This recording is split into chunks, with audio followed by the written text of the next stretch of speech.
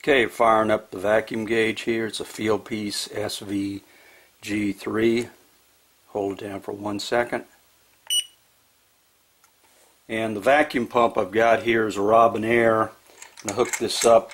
I want to show what happens when I change the fluid on the pump. And so it'll pump down uh, to a lower micron level. So I've got this connected up. You kick this on.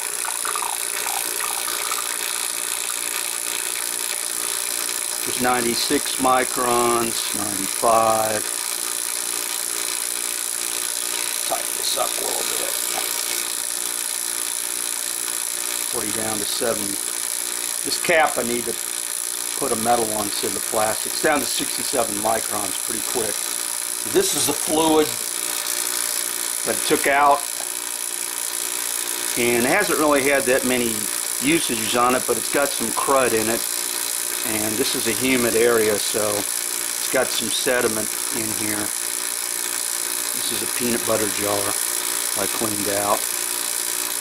But before I change this out it says it'll only go down to about 400 microns.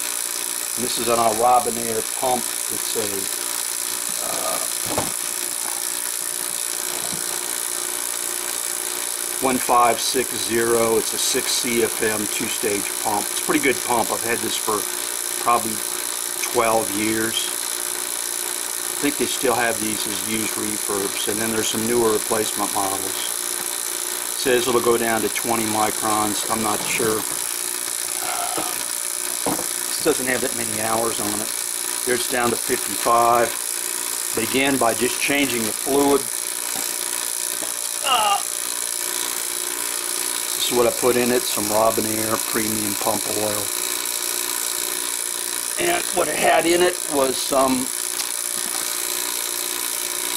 Fast Vac vacuum pump oil. I put that in, uh, I think one or two changes ago. Holds about 15 ounces. So this is a quart, so you can put about one of these quarts we'll end up using for probably two different changes. It's down to 52.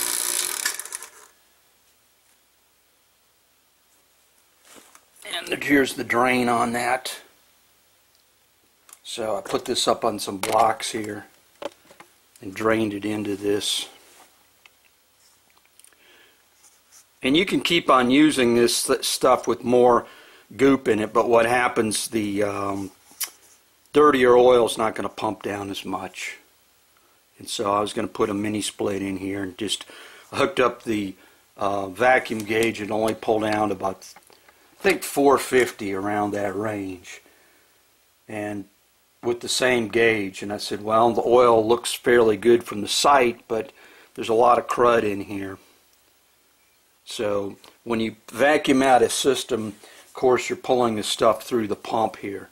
And so changing the fluid, the uh, vacuum oil is good. You can get a lower vacuum. And then also you may want to use gauges here. Is a yellow jacket gauge. It's hot, low permeability. If you use regular um, hoses, this is a cheap Chinese set here that's only like 40 bucks off eBay for three with a valve. You're going to get some leakage through the darn uh, rubber.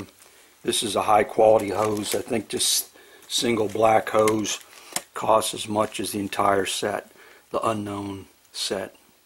So this is a uh, designed for vacuum, so it's got less less loss through it.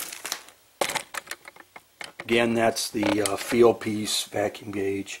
I've got a BluVac one that kind of grew legs. It's in my bag that um, I've got to fish out, find out where it is.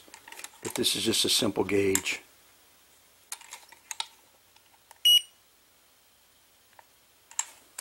Okay, the Fieldpiece here comes with an adapter. And it's got a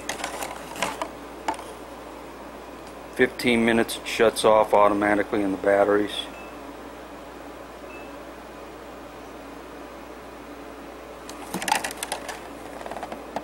I've used this a couple times, pretty good meter.